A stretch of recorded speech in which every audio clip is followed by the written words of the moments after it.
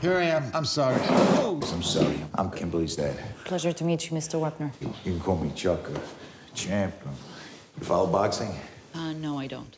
No? You see Rocky? Chuck. You don't know me. You don't. Chuck Wepner. Well, you do know me, but you don't know you know me. Once upon a time, I was the heavyweight champ in New Jersey. I was the best. Hey, Dal, set my man up with whatever he wants. And some guy named Stallone wrote a screenplay inspired by me. I was like, what? It's The real Rocky. I told you you know me. A real Rocky. Hey, everything's gonna be different now, baby.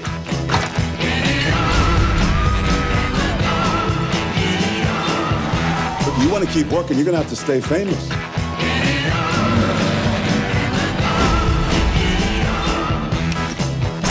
What are you that meets the eye, Chuck Wepner? Sometimes life is like a movie.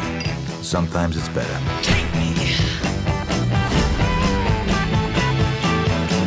Oh, Jesus. Look at the picture. Look at you, like he's your girlfriend. Come on, just push the button.